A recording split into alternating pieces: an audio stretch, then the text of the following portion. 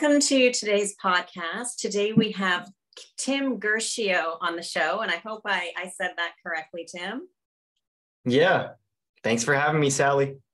Great. And so I know a little bit about you and your background, but our listeners don't. So can you just give a, a brief history about uh, your background?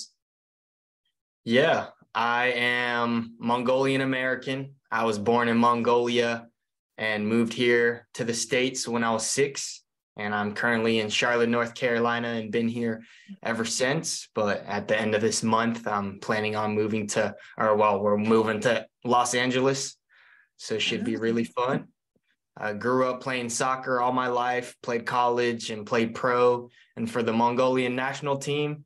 And um, after my soccer career, or after one season, two years in Mongolia, I was trying to decide if I wanted to continue playing soccer or if I wanted to go finish my college degree or start my businesses. So I started my businesses and now after a couple businesses I have a successful lighting company in which we specialize in Christmas lighting and um, yeah, we do about seven figures annually and it's a nice little side hustle, I guess people like to call it.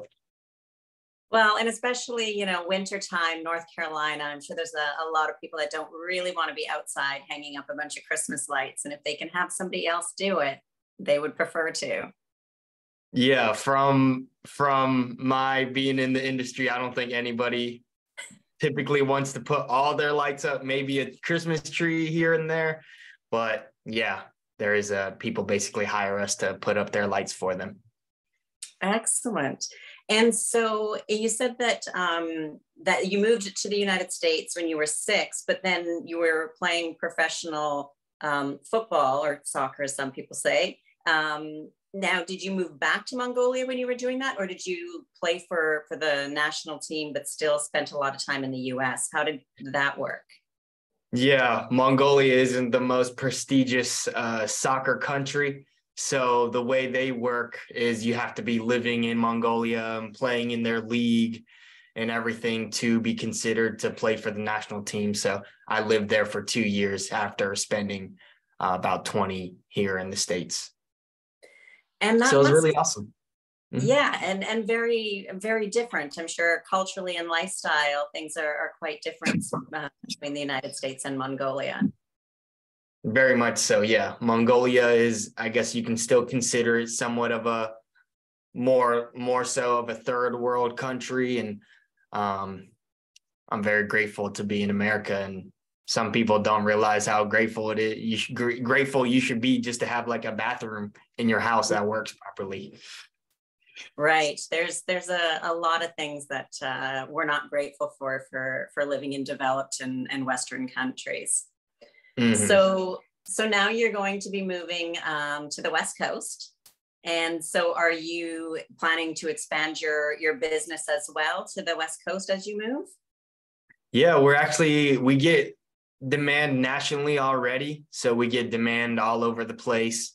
And we're a little unique. We provide an awesome service, but also an experience as well. So our workers, we have elf hats and have elf uh, uniforms, and we get to raise up the Christmas spirit a little bit more. So that's really awesome. So that's kind of helped us to stick out. But we also really just care about the customers as well. And uh, we're like an all inclusive in terms of my business. We're an all inclusive package. So people hire us.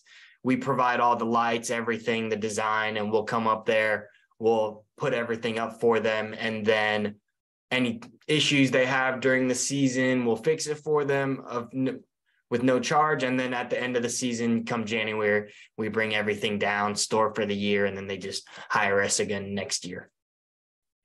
Oh wow. So that's that's very convenient. So they don't even have to go buy lights or deal with untangling them all and then all of a sudden it doesn't work because there's one bulb somewhere in the string that doesn't work. Exactly. Yeah, and we're like we're like outlining your roof line and getting up there and doing all these different things that you could definitely tell when something's professionally done versus someone that kind of did it themselves. So nothing on right. it, nothing on people that install their lights on their own. I still I still love Christmas, I guess you say. Yeah, no, it's it's it's great. Um, I just myself thinking of being on the ladders in the colds. Um, it uh, yeah, it just does not does not sound fun to me. Yeah, uh, uh-huh. and I'm originally from Canada, so I oh, know oh, okay. December colds. Oh yeah, terrible. Oh um, yeah. So so that's definitely not not uh, not something. I love the lights. I'm glad people do it. I absolutely love them all, but um, I would uh, be having somebody do it for me because I'm definitely not doing it myself. My inside my house though is always crazy. So yeah, inside's so, nice. Yeah. So what um, for yourself? What have you found has have been some of your biggest challenges with business? Uh, there's so many. I guess there's just so many ways you can go about it. But you know, it's at the end of the day, it's a lifestyle. It's a commitment and it's almost a commitment to yourself and a journey of just wanting to progress yourself as a person and professionally uh, every day and just being able to sacrifice a lot of things really honing in on what your core values or what your mission is in life whether it's financial freedom or you don't want a boss or you just want to do this on your own uh, you really have to feel strongly about that because it will test you in a lot of different ways. Absolutely, it will. So then, how how did you decide to start this type of business? Because there's many things that could be, let's say, more comfortable with. I'm just thinking of temperature, being on ladders, all of that type of thing. You know, there, there's a lot more considerations of just than being, you know, self-employed, where you could have um, a job inside where it's more and more office type job and, and doing all kinds of things. So how did you decide on the Christmas lighting company? Yeah, first I started off with a digital marketing company and I uh, found the power of just how great digital assets or website or, you know, having a great online presence could be. And then from there, I started some service based businesses like cleaning and you know, web design and stuff. Um, and one thing led to another. I saw somebody putting up Christmas lights, and I've just loved Christmas my whole life. I started doing it as well, and I already had some high end clients. And after a while, we get we got so much demand, and we get so much demand every year that we just can't even get to it all. So one of the greatest things about Christmas lighting is the demand. Mm-hmm. and then um, yeah, there was times where I had to install, and maybe there's times where I might have to. We have like big shopping centers and stuff, but um, you know, it just it, it worked. After all my different businesses, I realized Christmas was like really just fulfilling for me. It brought me a lot of joy, and it was profitable and scalable. So it was just like hitting on all my boxes that I wanted as a human and as a business owner and that's that's great because a lot of times it's it's hard to to tick all of the boxes there's usually a little bit of a balance maybe of, of give and take um, for some people um, which which is fine. That that's kind of a normal thing but to, to find something that really ticks all those boxes is is fantastic. Yeah. And it's like sometimes it's a good thing and a bad thing but we can live if we wanted to and we most of the time we do i have full-time employees and seasonal employees we can literally just not work for six months of the year and I get to do other things and travel and enjoy life or just stress myself out about not having other things to do. But luckily, we make enough money um, that I'm, I'm able to do that and continue to grow as well. Mm-hmm. And and that's true. And as you said, now that you've been growing so much, so I'm, I'm sure that initially you know you, when you started out there was some some places you were setting up lights and then there's the, in the off time shall we call it that there's all the the background stuff the marketing the finding the storage the buying more lights the all of the things that need to do maybe thinking of different designs for kind of yeah. average houses and and all of that so then you have the, all of those things in mind so it's still um, to the point you are now it's a long process to get to get to where you are now yeah it allows us to work really hard. It's almost like it's like a like a sports season. We work really hard for a couple months, and we're able to be blessed with a couple months break and just start strategizing and planning and preparing on how we could continue to be better and continue to grow. Excellent. That's fantastic. So what um, what are some of the ways that you have or what some of the things that you've done to increase profitability within the company? Yeah, I had to um so whenever whenever you're starting whether you're a new entrepreneur or you're an entrepreneur already or business owner already and wanting to scale, like as the business scales or as the business grows, you're going to need to grow as a leader as well.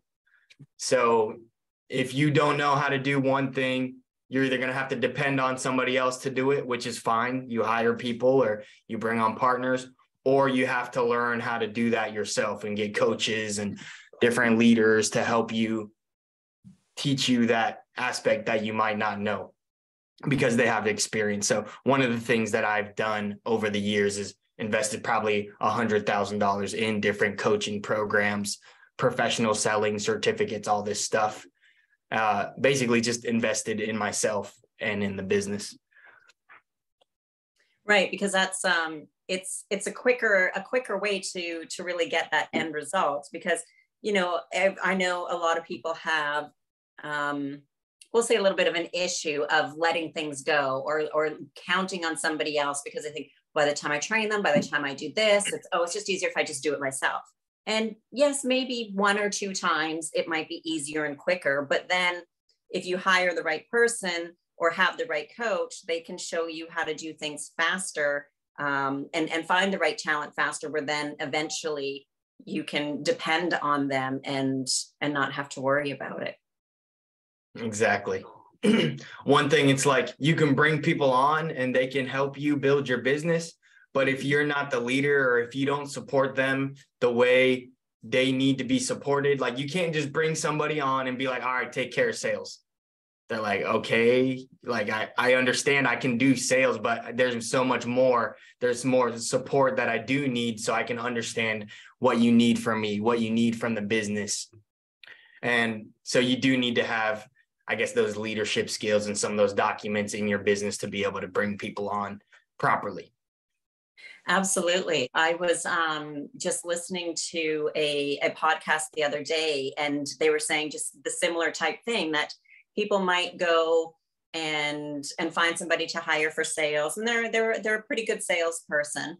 Um, and, and it's one of two things. Either they just find it because of an ad and they're usually pretty good but then eventually they're not so good. And and it's not that they're not good it's just that they haven't been shown what should be done. Like they don't know like you said earlier the core values of the company why things are being done how how different steps of things are being done just because i'm if i'm a salesperson for your lighting company i still need to know the process and the procedures and how everybody does other things and that's going to help me sell to clients not just hey you want some christmas lights put up exactly yeah yeah.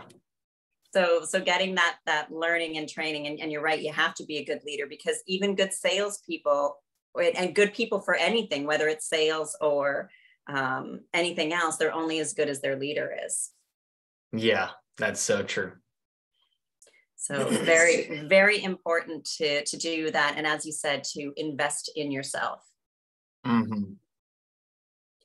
Great. So um, what would you say when you're hiring somebody where where are places that you kind of look for different areas because you do have a few different businesses so if you are hiring how, what's kind of your process or where do you find is the best areas to look to find um, great talent yeah i guess like man that i guess i'll say this like it's at the end of the day, we all have beliefs that we end up believing and that we end up saying. So you have this certain belief, and then you live or work around that belief where really like people are making it work past that. So for instance, someone's like, oh, you know, I can't find, I can't, I can't find workers on Indeed or and stuff. It's like, oh, I can't ever find good workers. Okay, that's a belief you have. Other people have found good workers. Other people are building great businesses with five kids. Other people aren't successful with five kids. So at the end of the day, it becomes like this belief that you have. But yeah, we found we found great workers on, I mean, even virtual assistants. Like I had this belief I couldn't sell Christmas lights via my phone only. And now we're just like, we're selling $200,000 deals over a Zoom call, you know, in a, in another state. Mm-hmm. So if you have this belief that, oh yeah, for sales, I need to be in front of that person and I have to be there or else it's not, it's, it's not going to close. It's like, yes, maybe it might help in certain situations and maybe I didn't and this person did. But if you have this belief that if whatever you end up believing is what your kind of reality, I guess, is. So that was a very um psych I, I don't even know, very no. big brain or like different way to think about it. But yeah. But it, it no, it's it's true. Mm-hmm. It's true. There's um, a saying, and I can't remember who said it, but it goes whether you think you can or you think you can't, either way, you're right. And mm. so it mm. comes back to that to that mindset. So if they if we say, oh, as you said, I can never find anybody off this site or off um, LinkedIn or or Fiverr or all of these different different things, but there are thousands of people who've been hired and have gotten great employees off of all of those platforms. Exactly. Yeah. And I think too sometimes as we said earlier that the the problem could be not so much it's where the person's looking is how are you how are you posting your your post? How are you interviewing the person? What types of questions are you asking? And all of those things um, can can help you get the the right person. And you know sometimes it ends up being just a bad hire or the person ends up going through some stuff in life and doesn't work out as well as initially planned but that's again part of the the learning process and and the the leadership process. Exactly. Two things I'm, i'll say about that is when you're a business owner the basically you're just making investments and you're hoping for the best and you try to support people or staff and sometimes they're just not going to be it or maybe you didn't help support them and maybe you and the, what's that saying? They say it's like you know, a bad hire costs you more than a good hire because mm-hmm. you train like it takes so much time to train somebody, get them on board, get them going, and then you do all these interviews to try to see if he can be a good fit and they're a good fit, and then three months later they're just like, okay, no, we can't do it, and then you spend it all this time and resources and money supporting them, like. I've paid for salespeople that's came in or employees that's came in got him different courses and all this stuff, $20,000. And just like that, it's like, all right, I just spent $20,000 to invest in this person and he's gone just like that. There we go. And there goes $20,000 plus whatever else, you know, all my time and everything. So it's, it's all a, all an investment. And then you were saying, um, so one thing that I do, it's like, yeah, it goes back to the leader. Like mm-hmm. you're doing, you're posting all these things but are you really doing it correctly? Or it at the end of the day it always comes back to you. Like you have all these problems in your business or in your life and at the end of the day yes maybe some things are that other person and maybe they're not a good fit and you need to be self-aware and realize that if that's the case. But at the end of the day it comes back to you. Are you being a good leader? Did you have good supporting documents? Did you have a process for this person to come in and follow, or are they just wearing 50 different hats, doing 50 different things, basically just reacting off of whatever you tell them that day? So, one thing that I try to do when I think of a new hire is okay, step one is okay, what is it? What is their job description? So mm-hmm. I'll, I have, we have a job description. We'll put it in a template and say, okay, these are the main three tasks this is their salary, this is what their work expectations are, these are the results that they need to bring. And then from there, I have to create them a process or like a, a board in which, hey, these are these are like the checklists that you have to do in a day or in a month or whatever the results may be. These are the things that you need to get done, which your SOPs or your K, KIP, K, KPI, key performance, and whatever you want to call it. Mm-hmm. But this allows you to create a standard for your worker or your person. And then this person also knows what they're going to be doing when they come in as well. And then from there, now you have everything you need. You got the job description, you got a process for them to follow. Now you find that right person. And if you if it's a simple process, which it should be, they shouldn't have to be doing calculus to figure out what they're doing. Like one, two, three, four, five, six, seven. These are step one, step two, step. This is what you're doing. I just need you to do it. And if you have a good process, you can literally just bring anybody in and they'll be able to do it typically. Right. Yeah. It, it reminds me of um, a comment that I've heard many times from um, Gary Vaynerchuk. I'm not sure if you're aware of him, but he, and he always says, if somebody's not a good worker, it's my fault. It comes back to me. If somebody messes up or does something bad, it's my fault. It comes back to me. And it is truly taking responsibility. Now, I, I believe that probably about 80 to 90% of the time, because sometimes people do just totally mess up and they knew better. Yeah. Um, yeah. But but you're right. Most times it is. If if somebody's hiring, it's what needs to be done, not just well, I need to hire somebody for social media. okay, great. Well, I'm just going to hire a social media expert. It's like okay, but what are your expectations? Because what they right. perhaps have done for other companies and has worked well and has been fine for the other companies might not be what you want or your expectations are. And it could be just the types of posts, how mm-hmm. long they are, is it daily, is it three a day, like all of those things, and and having all of those procedures in place, as you said, makes it easy that if, if there is um, a breakdown or something is not working out, then you can go back and say, okay, is it the person? Did I not train them properly? Did I do something wrong? Did I mm. tell them something different? what I, I what I meant to say um, or is it in those steps those procedures that uh, that we've messed up and there's something different or or something has just changed from one year to another to reevaluate those things yeah exactly and so i guess if um, for for people who are maybe on the fence about starting a business. We, we you know there, there's lots of people now who are getting to more the the side hustles the you know maybe they're not jumping full in and, and quitting their job and they're they're doing something and they're not quite sure really what they want to do or they have several ideas. So it's kind of one of those you know on on opposite ends of the spectrum though. What would be your kind of tips or recommendations to them to get started? Yeah. First of all like first of all that's really great that anybody or you or is deciding to do that.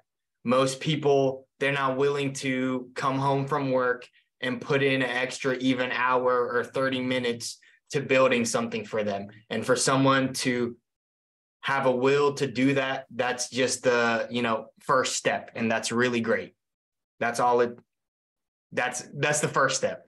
Then from there, depending on it depends on what first like what you want to do, how much money you want to make, and then you have to create demand or does it have demand already? Because if you're like, hey, I am a pinky toe scratcher, it's like no one's searching for a pinky toe scratcher, you know?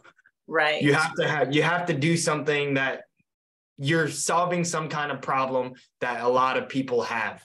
Or if it's a small amount of people, you have to be able to charge a lot for it because there's smaller demand and you have to make a living trying to do that smaller demand thing thing. Oh, okay, sorry, it broke up a little bit. Um yeah.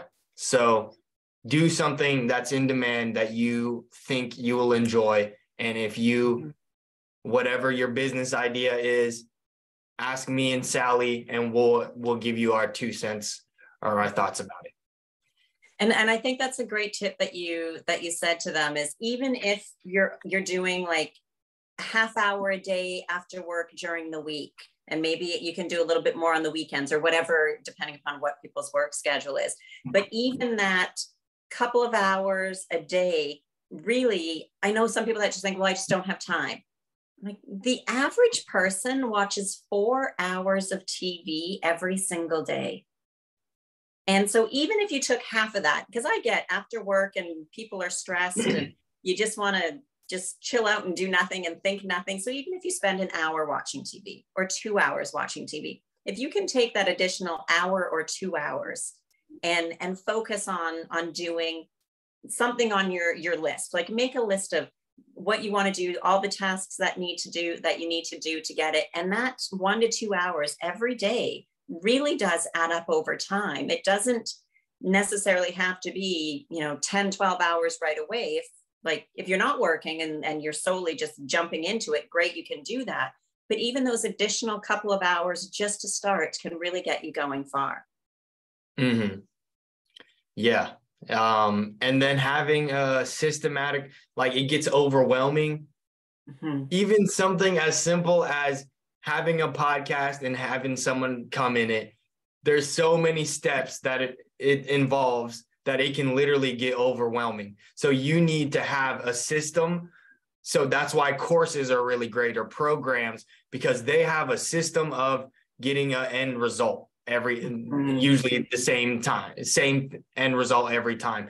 So you if you don't know how to start a business look up on google how to start a business 10 steps to starting a business and don't overwhelm yourself go from 1 to 10 and do the next best next thing in the process. Don't think about oh man i'm on one i'm on one and i got to do seven eight nine. So like no just do the next most possible action you can you can do. That that's actually really really good because you're right with with every everything even just having a podcast. Some people just think oh i can start a podcast. I just have to get guests and record it and put it up on youtube or spotify or whichever platform. But there's actually a lot more work to it than that. And mm. and that's that's like every business. There there are a lot more and it can once you realize all the things that need to be done for whichever your business is it can get overwhelming.